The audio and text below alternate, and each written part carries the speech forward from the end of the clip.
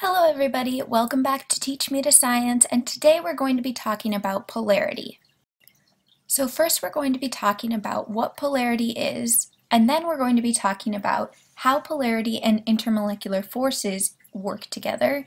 And if you're a little bit rusty on your intermolecular forces, please review this video I've got linked above. And last but not least, we're going to be talking about the rule like dissolves like. So a molecule is considered polar when it has a significant difference in electronegativity between its atoms. Just a reminder, electronegativity is how much an atom attracts electrons to itself. Now, ionic bonds are not the only types of bonds that can be polar. Covalent bonds can also be polar or nonpolar. And just remember that an ionic bond is a stealing of electrons which creates charges on both of the atoms involved, while a covalent bond is a sharing of electrons, and the only way it can be polar is if a temporary dipole moment is created, and we're talking about that here in a second. So a dipole moment is when there's a temporary shift in the distribution of electrons that creates partial positives and partial negatives on a covalently bonded molecule.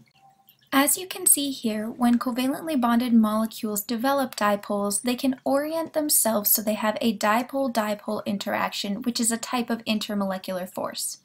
This is only possible because of the temporary polarity of the molecule.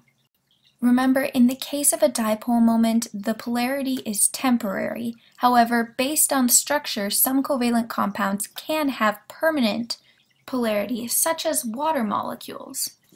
When placing a solid in a liquid or a liquid in a liquid, whether they mix is determined by the polarity of the substances. In this case, the polar solid will dissolve in the polar liquid, while the nonpolar solid will not. This is because polar substances will interact with each other, while a polar and a nonpolar substance will not. I hope you've enjoyed this lesson on polarity. If you have any questions, please leave a comment below, Please like and subscribe to Teach Me to Science for more content like this. Thank you for watching. Bye!